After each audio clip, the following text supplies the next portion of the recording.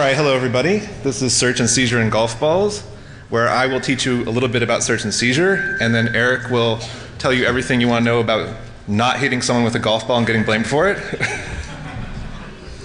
I oh, can I have a quick show of hands? Who knows a little bit about Eric's story or has heard it before? Oh, okay. Fair amount of people. If anyone else is confused after we're done talking, talk to one of the people who just raised their hands. They'll explain. All right, my name is Jim. I am a criminal defense attorney. I've been practicing here in Vegas for the past three years or so.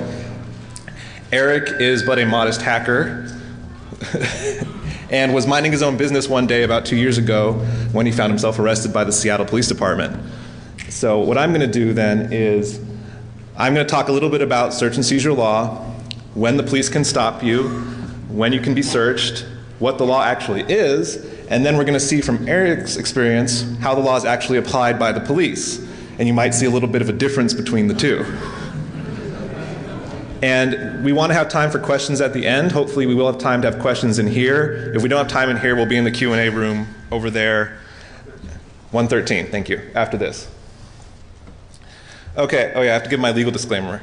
Because I'm a lawyer, I have a legal disclaimer, which is that you should not take legal advice from some guy talking at DEF CON. If you actually get arrested, hire a lawyer or get the public defender or whatever, but don't take my advice as the gospel truth. I only have 20 minutes to instruct you on law that took me at least three or four months of law school to learn. So I'm not really going to cover everything, okay? And don't try to play gotcha with me either. I know I'm leaving stuff out, okay? I speak from experience with hackers. Okay. All right. Now, search and seizure law is mostly based on the federal constitution, the Bill of Rights, the Fourth, Fifth, and Sixth Amendments. This is stuff that they really should have taught us all in high school. Instead of telling us about the bill on Capitol Hill, they probably should have told us what to do when police stop you and when police can stop you, because honestly, that's the interaction most of us have with the police or the government more often than passing bills and you know, the executive branch and blah, blah, blah. However, they don't teach us this stuff in high school, so that's why I'm going to give a little primer, give you a little framework to understand what happened to Eric. So there's basically three different levels of when the police can stop you. There's the voluntary stop, investigatory detention, also known as the Terry stop, and getting arrested. And that's going from, you know, least serious to most serious. All right, so the first one is the voluntary stop. And that's a fancy legal lawyer way of saying, the police officer says, Hey, can I talk to you? And you say, Sure, why not? Ta da, you've had a voluntary encounter with a police officer. This is when both of you are agreeing together to have a conversation, or at least that's the way it's framed. The officer's going to say you're both agreeing that you're having a conversation. Maybe you're kind of a little bit intimidated into having a conversation. Now, this can last as long as either one of you want it to. Um, and there's completely obviously legitimate reasons to talk to the police officer. It's not all you might get in trouble. You know, everyone's had a situation where they actually call the police and want the police to help them. So it's, it basically lasts until you've both decided to stop talking to one another. And the way you know it's a voluntary encounter versus something more serious that we'll get to is that you are free to leave at any time if it's a voluntary encounter. If you ask the police officer, hey, you know, I'm, basically I'm done talking. Is it okay if I leave? I have someplace to go. If they say no, then you're being detained. You've been seized by the police officer.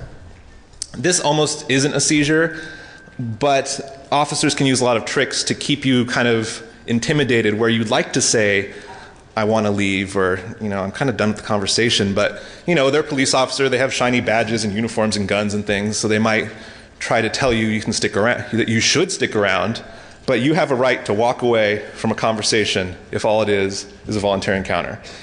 And my advice to you is to be polite to the police officer. Be helpful if you want to be helpful, you don't have to be, but at least be polite. Uh, don't turn on full asshole mode at the beginning. If, if you're walking by and the cop asks you what time it is, don't be like, oh, am I free to leave, officer? Are you detaining me?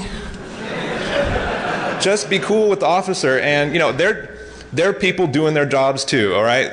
They might have. Uh, a different outlook on some things than you or I do, but they're doing their jobs and they might be having a bad day.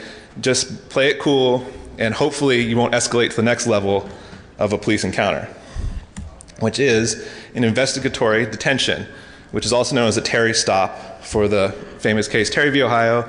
which says the police can stop you when they have a reasonable suspicion that a crime has occurred and that you're somehow involved. And as you'll hear from Eric, this is pretty much the situation when they first showed up on the scene in his case, arguably. I saw you're about to argue with me, don't. All right. and basically, the cops get a call. Um, in Eric's case, it was these guys are screwing around with golf balls and they hit somebody and they show up. And at this point, they're investigating whether a crime has occurred. They don't really know. I mean, someone calls 911, but you know, they don't know if a crime actually occurred, if it was a prank call, if it's something serious, not serious. They don't know what's going on. So they're showing up and trying to figure out is there a crime? Is that guy involved in the crime? What's going on? So they're allowed to hold the person there until the suspicion is confirmed or the suspicion is evaporated or dissipates or whatever fancy word you want to use. Dispelled, sure. That was geeky. All right. Um, so they can stay there, and basically they investigate, and if they decide after some investigation that they got the wrong guy, they're supposed to let the person go. And at that point, it goes back down to the previous level the voluntary encounter. I mean, if they're letting you go, you, you can stick around if you really wanted to, um, or you can leave. Or it gets escalated to the next level, which is you got arrested because they confirmed the suspicion that there was a crime. So this is a kind of in between place, and because of that, your rights during this time are pretty unclear. Um, you always have your rights we'll talk about later, the Miranda rights, like to remain silent, to have a lawyer, you always have those rights. Those are constitutional rights. But it's not really clear if you have any special rights. They don't have to remind you of them at this point. They don't have to read you your rights at this point because they're just investigating. It's also unclear how long they can keep you in this kind of twilight zone of investigating but not charging you with anything, not arresting you. Um, the courts take it on a case by case basis. They can't, I think, it's usually like if you go past an hour or two of standing on the side of a road, the courts are kind of like, yeah, they should probably let you go. Or they should, you know, they can always come find you later if they need to. There's also a question when they're investigating whether or not you have to identify yourself to police. And this is especially true in Eric's case, which is why he's here to talk today. Um, the answer to that is it depends what state you live in. Uh, there was a Supreme Court case called Hiibel that was out of Nevada Nevada has what's called a stop and identify law, which says if you're being stopped and investigated by police for some crime, you do have to identify yourself. And the Supreme Court said that law is fine, but it's up to the states. So here in Nevada, if they're investigating something and ask you to identify yourself, you do have to identify yourself. In Washington state, where Eric was detained, there is no such law. And he'll talk about what'll happen because of that. But um, there is no such law there if there's about 15 states that have stop and identify laws, you can Wikipedia it later. I don't have a list in front of me, but you have to check on whatever state you're in as to whether you have to identify yourself to police. When you get stopped in this way, before you get arrested, so you're not arrested, you're stopped by the side of the road, they can only pat you down for weapons if they have a reasonable suspicion or idea that you have some kind of weapon on you. They don't just get to search you if they've stopped you like this. Um, they can search you only for weapons, only if they have some suspicion that you have a weapon. Maybe the 911 caller says, Oh, I thought he had a gun. Well, then they can pat you down. But they can only pat you down to make sure you do or don't have weapons. They're not allowed to go into your pockets. They are not allowed to feel something and say, oh, that feels like a wallet. I wonder what's in there. Let's take that out. No. They basically get to feel you up. If it feels like you have a gun or a knife, they can take that off of you, but that's it. They don't get to search anything else. They don't get to look inside things, nothing like that. Um, they can always ask you on this level or the previous on a voluntary encounter, they can ask you for permission. If you want to let the officer search you, you can, of course. Um, I wouldn't recommend it. and uh, this, of course, leads to many police reports where they claim that the person let them voluntarily search. Um, whether or not that actually happens is in question many times, but you have a right to not be searched basically up until this point. And again, this level is very vague. This investigatory detention is very vague about your rights and what you should do. Again, just remain polite, remain cool and calm, um, as you'll see Eric doing for the most part throughout his encounter. And try not to get arrested. Which leads us, oh, come on, OpenOffice. There we go. what was that? What's a weapon? It's something that can be plainly identified as a weapon. So if you have some crazy like ray gun or something, then probably. If it feels like a gun, then they get to take it away. If it feels like a knife, they probably get to take it away. Something you can hurt people with. They can't argue that your cell phone might trigger a bomb. Uh, that's getting a little ridiculous. Hammer? They could probably like, if you have a big ass hammer just hanging off your belt, they probably yes could like just put it over on the side for a little while. Um, stuff like that. All right. Yes, yes. All right, it's not lawyer gotcha time. Let me continue. you can annoy me about what's a weapon during the Q&A. All right. Level 3 is arrest. They get to arrest you if they have a warrant for your arrest, big shocker. If they actually see you committing the crime, then they get to arrest you, of course. And if there's probable cause that a crime has occurred. Do not ask me to define probable cause, that will take too long, and we'll be here all day. Probable cause is more than reasonable suspicion, excuse me. If they show up, let's say, to a scene, 911 caller says, oh my gosh, there's a bank robbery. A guy with a black t-shirt and camouflage shorts just robbed the bank. They show up, and I'm still standing around, and 10 people from the bank says, that's the guy right there. Obviously, the police didn't see me commit the crime, but at that point, they have probable cause because 10 people are all pointing at me and saying he robbed the bank. Whether or not I actually robbed the bank is the question for the trial, which is way down the road. Right now, we're just dealing with the police. So basically, once you get arrested, they get to keep you as long as they, as long as they want to. Um, you have to be charged within a certain amount of time. That's a different thing. And they basically get to keep you until you're charged with a crime, not charged with a crime. And if you're charged with a crime, then bail has to be set, etc. You do get to be searched when you're arrested, and that's a full-on search. Your pockets are going to get emptied. Um, they're going to take an inventory of everything to make sure nothing gets stolen or you don't accuse them of stealing anything, right? All right. And, and uh, if you're driving your car when you get arrested, there's many, many rules about what part of your car gets to be searched. I'm going to say the short version is if you get arrested while you're driving your car, yes, they can search your whole car. So if you're carrying around your weed in your car, bad idea. they will find it if you get arrested. Um, they also obviously get to search you, and they get to search anything within basically your, your arm's reach around you. They get to search if you're arrested in your house. What are your rights at this point? It's your Miranda rights, and I'll go into more detail in just a second. And I'll just do it right now. And then uh, my advice, of course, is for you to shut up. But there's a caveat to that. Once you're arrested, you have these rights the right to remain silent and the right to an attorney. And the other ones in parentheses are special. Um, if you're a kid under 18, you have the right to have your parent present in any questioning. And if you're not a U.S. citizen, you have a right to someone from your home country's embassy or consulate come. You have a right to have them come help you, come talk to you. But anyway, the main two are the right to remain silent and the right to an attorney. So this year, the Supreme Court decided one of their stupidest criminal decisions in a long time. Because previously, the way you exercised your right to remain silent was you were silent. And that makes a lot of sense. If the police are talking to you and you're sitting there not saying anything, and they keep talking to you, keep talking to you, you're not saying anything, you're quiet, well, clearly the person's choosing to remain silent. They're exercising their rights. And the point of that is, at some point, the police need to stop asking you questions, stop being intimidating, let you remain silent, because that is your right, and leave you alone. What the Supreme Court said this year, I don't remember the case name, but they said this year in order to exercise your right to remain silent, you must tell the police officer that you want to be silent. so, what you have to do is once you get arrested, you must say, I want to re- remain silent. And then remain silent. and then that'll work. And then they have to leave you alone and not question you about what's going on. You also have the right to an attorney, and you, should ha- you have to say, I want to talk to my attorney, or I want to see an attorney, and then stop talking. If you put any qualifiers on it, like I probably want to see an attorney, I think I should see an attorney, it's a good idea, it doesn't count. There's many, many cases on this. It doesn't count if you put any kind of qualifying language. All you have to say is, I must see my attorney, or I want to see my attorney, the end.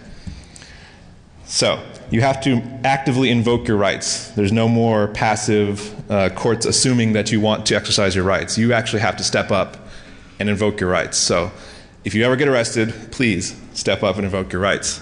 Um, they're there for a reason, they're there to protect you. All right. You ready? Yeah. All right. Cool. So now that's the basic framework, the three different ways the police can stop you. And as you'll see, uh, Eric's experience was we kind of start out they're investigating the crime, and he ends up in jail. Whether or not he should have is Well, currently being uh, debated. So, still two years later. yeah. Just a moment while I steal the video here. Brand new laptop. Yeah, yeah.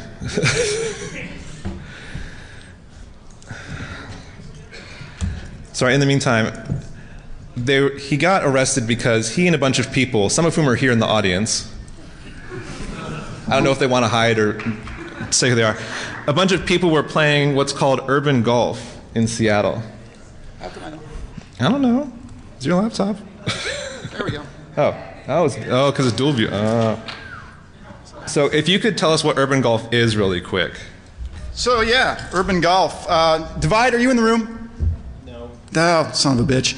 Um, it's organized in Seattle by this dude Divide, and uh, pretty much the deal is it's um, it's a prearranged, organized event, open to the public. It kicks off here, uh, various different locations, but that was Cal Anderson Park, uh, Capitol Hill neighborhood. Anyway. Um, what the organizers do in advance is they go around and they put little uh, astroturf uh, greens out on various street corners around the neighborhood, and you tee off from each of these greens and you play through, you know, alleys and sidewalks and parking lots uh, to little holes that have been uh, set up in advance, and uh, it just so happens that each hole is uh, approximate to a drinking establishment. And so by the ninth hole, uh, you know, which incidentally is where the incident took place, um, it's uh, you know it's been a fairly lively uh, and engaging uh, experience. So yeah, it's, it's a great time. Um, yeah, go for it. By the way, how are we for time? We're fine for time. Don't worry about that. I might want to be long-winded though. Oh, that's okay. All right, so I have a little setup here. Now's the time I'm going to hit a golf ball into the audience who don't want to get hit by a golf ball. Move. They're foam. They're not going to hurt you. Nerf ball, by the way, just like in the real event. Yes, we're recreating the real event. Uh, for some reason, we were listed as a demo on the website, so I decided I should do a demo. So-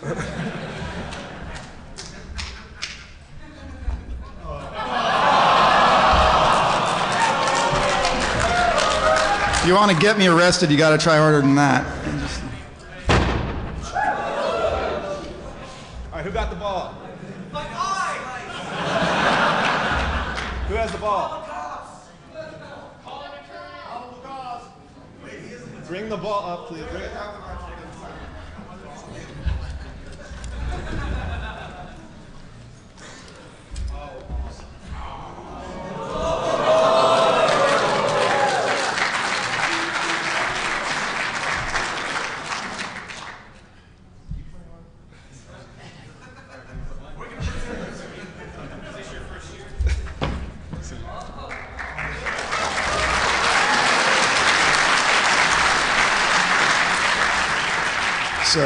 I'm kind of debating how much, uh, you know, how much I want to uh, ramble about all this. So how, how are we for time?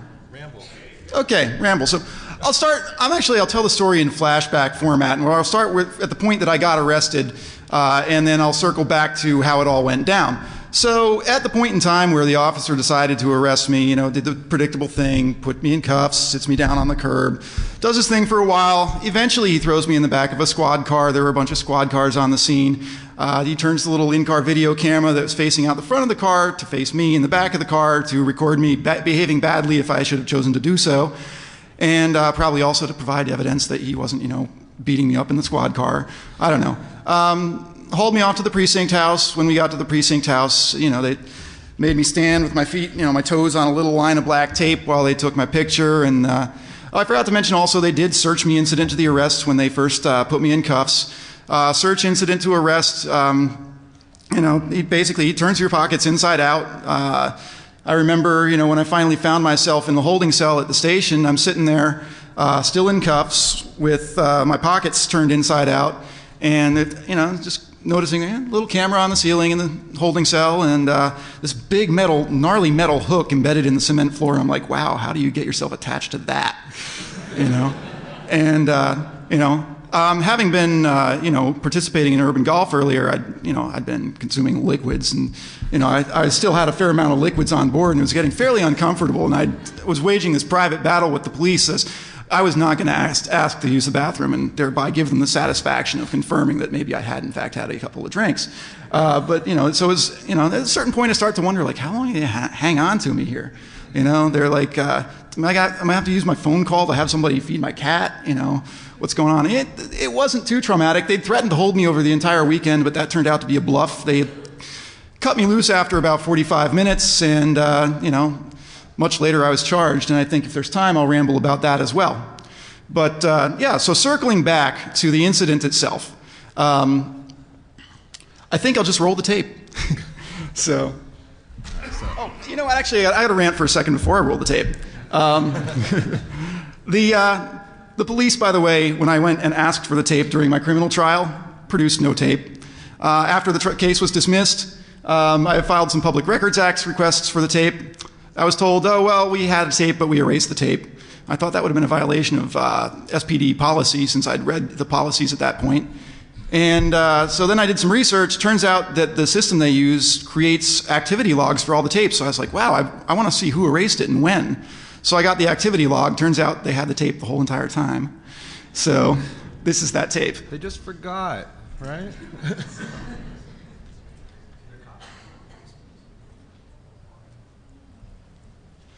So I'll ramble during the first minute of the tape about the technical aspects of digital in-car video systems used by the police.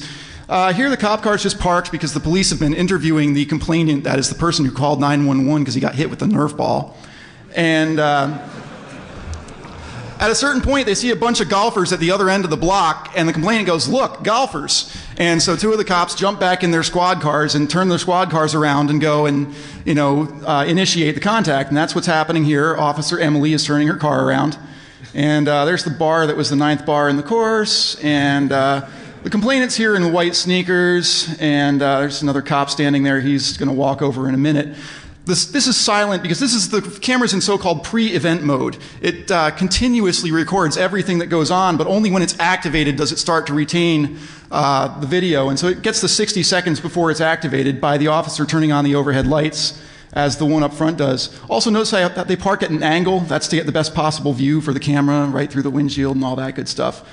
And we'll get audio now because uh, Officer Emily has just turned on the microphone that has. Don't you head over there? That's Yeah, yeah, attached to no- her no worries. Keep walking this No, way. sure, sure, sure. Are you with them? Are you with them? I'm not, I'm not giving you any statements, That is not what I asked you though. I said, are you with them? and I'm not giving you any statements. Matt, are you with them? Yes or no? What was that about a statement? Well, to answer your questions, that would be a statement. I'm not answering questions. Where did the escort to? He's not giving any statements though. So What's that? he's not giving any statements. So Cool. If we get to arrest him and let him. I know it's great. Head over there. Come on. No problem. No worries. Now, I don't know if you can hear what he just said, but that cop just walks right up to her. She says, he's not answering any questions. And he says, cool, that means we get to arrest him and hold him for the weekend. He looks at his watch and says, that's it, you're not going to see a judge until Monday. And all I've done is not answer questions. Can he do that? Oh, um, yes. Uh, can he actually arrest you for that? No, not in Washington, where there's no stop and identify law. And besides, you're just minding your own business, and they want to ask you simple questions, so you can refuse to answer. Um, can he threaten to arrest you and, you know, take your firstborn child and all that kind of stuff? Yes, he, the police officer is allowed to lie to you and generally intimidate you into saying things, but you also have a right to resist that. So, wow, that's, I mean, that's pretty brutal. Like, so if I assert my rights, he can totally just like threaten to violate them left, right, and center as a, as a way to maybe Well- get, get me to waive them. Well, he, up to a point. I mean, if he takes out his gun and points it at you and threatens you, yeah, yeah he's crossed the line. But can Okay. uh, can he just be? Can he be generally mean to you to make you to try to trick you in answering questions? Yes, he can. Okay, well, continuing. Running around with the call. So, uh, yeah, we don't really have the audio of my conversation with the officer here because the girl with the mic, she's walked away. The audio and video recorded, man. Your head. Would that help you deal with this? So, Hey, if you put your hands in your pockets one more time, I get to search you. really? No. um, the police's favorite words are furtive movements, which basically means anything they want it to mean. And they try to turn that into a way to search you because they're like, oh, he kept edging his hand toward his pocket, so maybe he has a weapon there. That's why he's doing it, right? Instead of just, you know, someone's really nervous because they got pulled over by a cop, so they're fidgeting. So, but no, obviously, uh, at this point, you're not under arrest for anything. There's been no claim you have a weapon other than a, maybe a golf club, which you're not holding, and uh, he has no reason to search you. So no, he can't search you right now. Okay. That's now on video. You know, So for the next no minute or two, I'll just let confusion the about tape roll, and uh, some Does interesting things happen you? in a minute. But Cool. Joke. she just called me a joker. You are.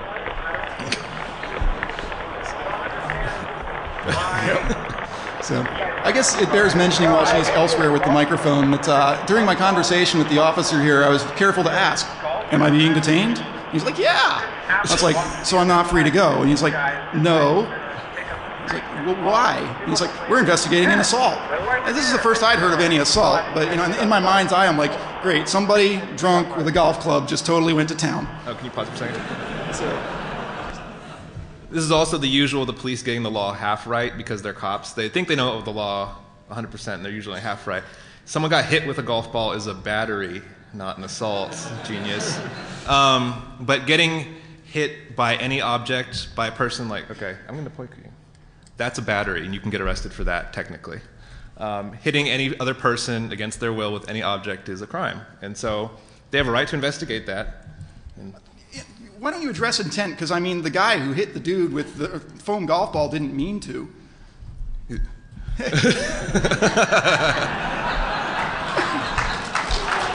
we believe. That gets into technical legal jargon, but basically, I suppose he didn't technically he didn't intend to hit the guy, but uh, he's at least civilly liable for hitting the guy, and Oh yes, civil um, liability. civil liability. Yeah, it's a pain. And then, um, he's probably still criminally liable. I mean, if you're hit, if you're hitting golf balls in downtown Seattle, what do you, you, you think someone's not going to get hit once in a while? We want to be very careful, by the way, to say Nerf balls or toy Nerf- balls, Nerf golf not balls, of golf balls. So Sorry. yeah. Does the guy who got hit have to show that injured? No, you do not have to show you are injured for there to be a battery. yeah. Like literally, this is a battery. I'm not joking.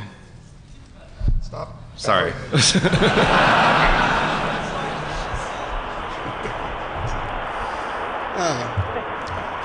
Guys, stay put, all right? Hand. Red hand.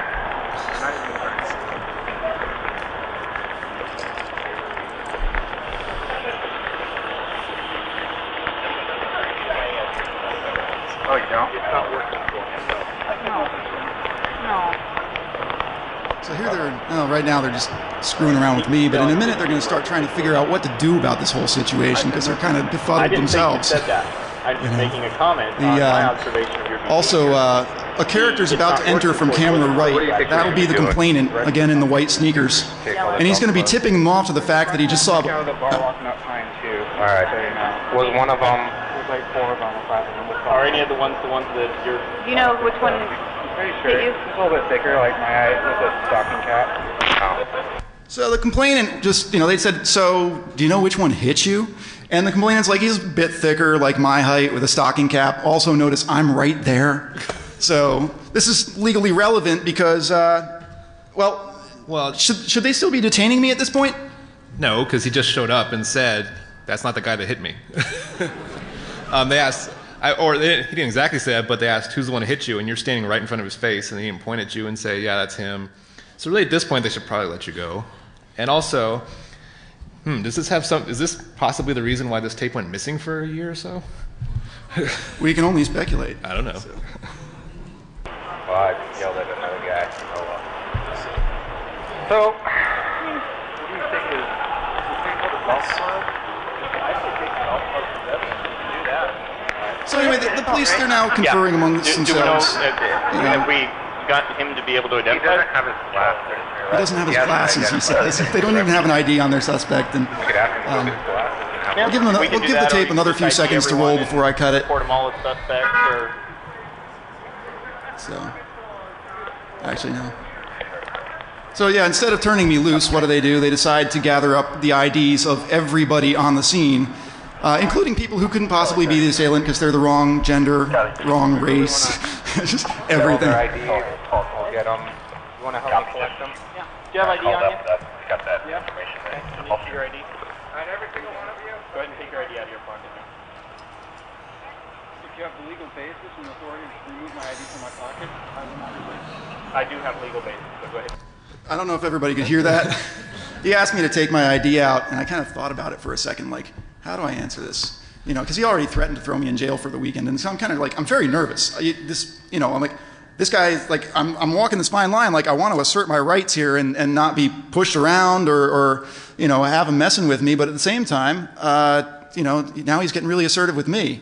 And uh, so I said, well, if you have the legal basis and authority to remove my ID from my wallet, I will not resist. So, of course, you know, a, a little, a little overwrought of an answer, and I wouldn't. I was gonna say, I don't know if you want to bust out the legalese every time. Uh, you might just want to be like, no. Yeah. So, yeah. Now, a, a reminder to something uh, Jim said earlier: don't try this in the state of Nevada or any of the 23 other states that have stop and identify laws, where provided that the officer has reasonable suspicion, which this one doesn't, with respect to me anyway. Not now. They could have done it Yeah. earlier. Yeah. But uh, anyhow,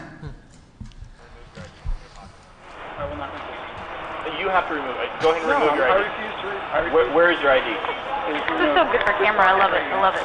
What's that? you said it's great for the camera. I love it. Turn around. Put your hands behind your back. Back your hands together. Which pocket? The left one. The other one. I know. Do you have anything else on you I need to know about? No. Okay. I'm not going to tell you. Is it in a wallet or something, or is it free? Um, I've been giving you a lot of statements these last couple seconds. Stop. There's your wallet. Go ahead and remove your ID from it. I can't take the wallet. If it's got money in it, you're going to accuse me of stealing it. So remove your ID from your wallet. Thank you. So. So yeah, despite the fact that the camera's rolling, he's got you know his colleague standing right freaking there. You know, also despite the fact that he had no qualms about searching the incident to the arrest five minutes later, um, he's now telling me that I need to search myself for him, otherwise I'll accuse him of stealing stuff from me. Well, th- no, he. One wonders. That, yeah. Yeah, well, again, this is the cop half knowing the law because he knows that, okay, if he's not under arrest yet, I can't actually go into his pocket. So I'm going to ask him to do it for me. But at the same time, he's like feeling up your pocket and stuff, which he's not supposed to do anyway because he doesn't think you have a weapon. So again, he kind of half knows what's going on, but eh, not really. Yeah. So. I will arrest you for obstructing if you don't. You know, we, we, absolutely cannot. we, we can we can play this game as much as you can. I am making a legal a, a, a legal uh, request of you to remove your your ID from your wallet. I have removed your wallet from your pocket per your request. I'm not going to dig into your wallet because I'm not comfortable with that given your demeanor. Now, if you don't want to remove your ID from your wallet, I will take that as a refusal to identify yourself. You are now informed of that. It's on recording, too. So if you refuse to give me your ID, is now in your pocket, you refuse to give me your ID, then we will arrest you. Don't talk to him right now. You're sorry. Yeah. Okay. Go back over there with him right now. I'm requesting your ID. Give me your ID. You refuse to give me your ID. Hey, we can always take it down, and you could go to the fingerprint section. And that's all she wrote. Found another one. Uh, I'm the organizer of the ID. So what were you eventually charged with exactly? Yeah, so I'm just going to let the tape run with the volume turned down now. So yeah, the aftermath here is they um, they charged me with obstructing, which is really broadly written law. I'm not going to play the lawyer with a lawyer actually sitting here, but I happen to know the Washington State obstruction statute by heart as a result of this experience, and that is any willful act where, which has the effect of hindering, interfering with, or delaying an officer in the discharge of his or her official duties is a misdemeanor. And so, you know, to read that statute at face value, it's almost like you don't have rights. It's almost like, you know, refuse to answer questions, that's a hindrance. Don't let them search your car, that's a delay. And that's exactly how the police department will, you know, likes to interpret these statutes. And they have obstructing statutes like this in a lot of states. And, you know, to a great degree, it's, it's like Jim says, you know, the cops, they kind of half know the law. You know, they're not, they don't have the entire, uh, you know, American court system in their brains to sit there and untangle these conflicting statutes that have these inconvenient rights that kind of, you know, work at alter, you know at different purposes. Right, and that's I mean that's not their jobs, but unfortunately, it can have some really bad side effects. Obviously, like Eric went to jail for how long were you in jail for? I was only I was only held for about two hours. Oh, okay. But I mean, you could have been in there. I mean, who cares? I wouldn't want to be in jail for two hours. I wouldn't want to be in jail It for a kind of couple screws minutes. up your Friday night. Yeah. yeah, and I mean, and I mean, you're. Did you bail yourself out, or did they release you? They released me. Hey, so at least they're nice enough to do that. Uh, But I mean, a lot of people can't get released. A lot of people can't afford to bail out, and you know, it's not their job to know exactly what the law is. That's my job. It's the court's job. It's other people's jobs. But it can take several months of sitting in jail before you go to a trial or have a hearing that decides what the law is and what whether what you were doing was right or wrong. So. That takes a long time and it's a pain in the ass. And so th- it would be nice if the police were a little more informed on the law instead of just construing everything in their favor. Funny you put it that way. Oh, So about informing the police of the law, I guess it, since there's time, sure. uh, I'll talk a little bit about the aftermath of the experience. So the first thing I did is I went home and I located the Washington State case that uh, cleared up the ambiguity of the situation all the way back in 1982. Uh, Washington State Supreme Court, uh, in a case called State v. White, said that, quote, a detainee's refusal to disclose his name, address, and other information cannot be the basis of an arrest. And so I took the case citation and I emailed it to the Seattle Police Department's Office of Professional Accountability uh, 10 days after the incident and said, hey, you guys have tape, you've got the facts, here's the law, uh, don't be arresting people for this. And uh, the Seattle Police Department took my opinion into due consideration and decided uh, to go ahead and charge me with the, crime of obstructing. So they're like, who cares what the law says? You're t-" um, and that's when the situation got really, really actually kind of frightening. Um, because, you know, at, at the time of my arrest, emotionally I was, I was okay. You know, I'm kind of like, all right, well, this is a fun little civics experiment, isn't it? You know, sitting in handcuffs, riding around in the cop car, fairly comfortable in the knowledge that I'm innocent. Um, except that then when it's time to actually review the facts and the law, the system started to go sideways on me. And I- now I'm like, oh my God, I'm actually being charged with a crime. This is now on my record.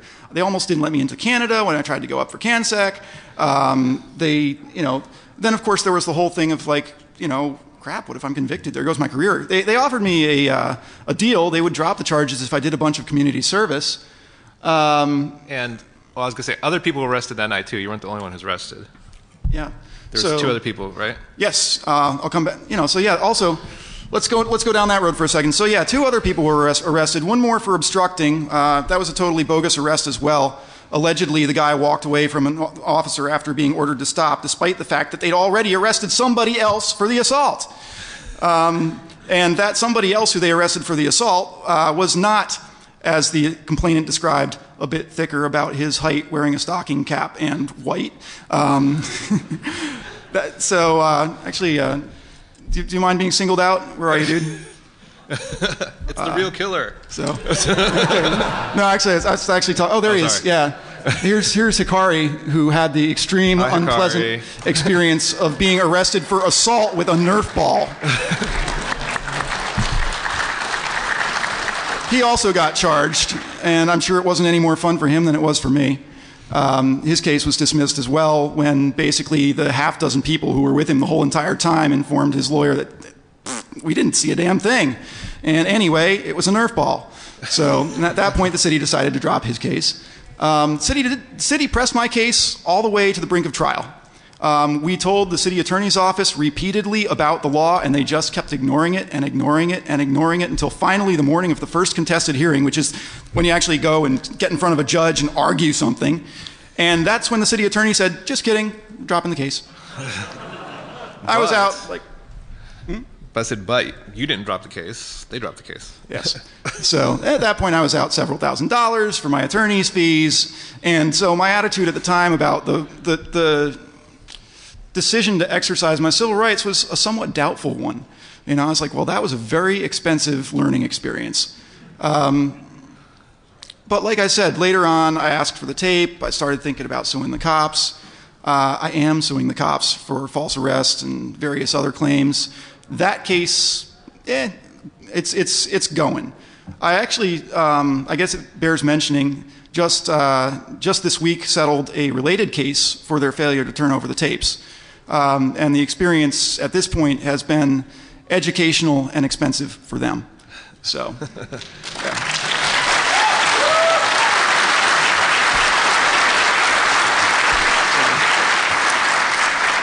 And I think on, uh, on that note, I guess now's about the time to turn it over to questions. And well, before we do that, do you want to hit a golf ball into the audience? Yeah. I think you should. All right, here. this time he won't get in any trouble for hitting the golf ball. All right, heads up, fools. You gotta watch the backswing, by the way. I'm actually surprised. No. You don't need to go to court again. Oh, come on. Oh. Where is it? It's, it's under the stage, man. It's under the stage. Doesn't put your back into it. That's how you know what's it. yeah. Clearly it wasn't him. My green. Heads up. Who got it? Come on down.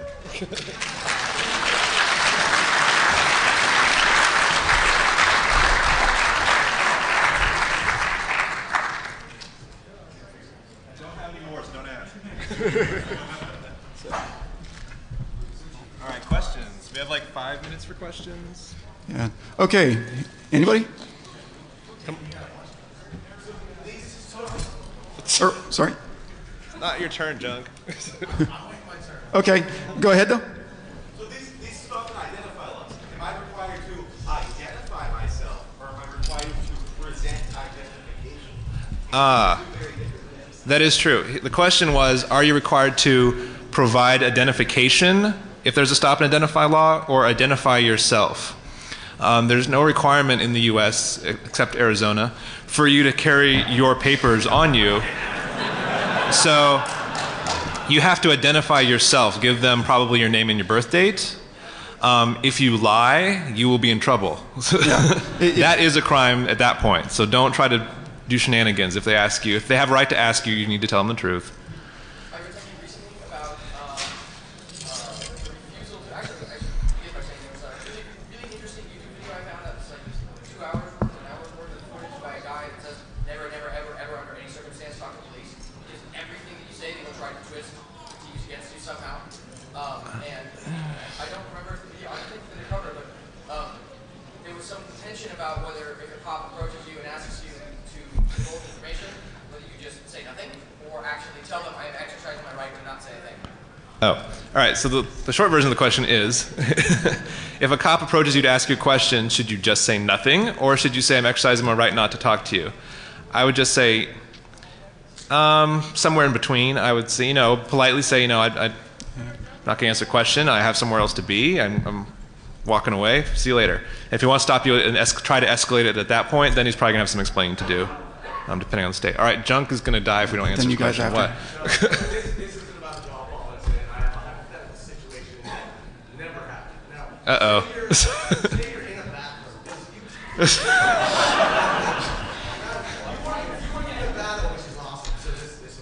say you're,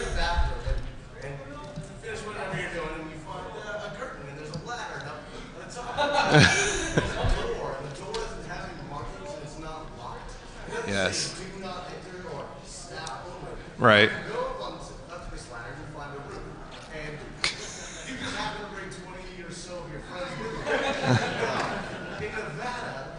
Yes. the laws, you may Yes. be at a hotel. All right. So the, the question is. the question is if, if you. No, because in Nevada there's a law that you have to post the trespass notice on the place first. So yes, if you if you manage to f- accidentally go on the roof of the Riviera, they can kick you off the property. Yeah. Right, right. I'm just saying hypothetically, um, they can certainly eject you from the property because they don't have to let you be here. But no, that's not trespassing. Anyway, Okay, let's go the yellow shirt and then the gray shirt. thanks. So if I'm taken at some point into an interrogation room, is there some golden time limit that I uh, have to outlast them on? Oh, um, question is, if you're in an interrogation room, you've been arrested at that point. Is there some golden time limit before they have to stop questioning you? The answer is no, not really. However, the longer it takes, the more likely a court's going to say that's not cool and kick out whatever they get. Um, at some point, hopefully, you evoke your right to be silent or to have an attorney, and that should end it sooner. But uh, no, if you hold out for 24 hours, um, it's not like there's some magic limit where they have to stop questioning you. Do they have to give you water in bathroom? I'm sure at some point, yes. The answer is that. But Okay, before we go to the Well, it's person in the gray shirt, we've gray just shirt been told Oh. that time is up and we need to continue All right. this discussion in room 113. All right, Gracia.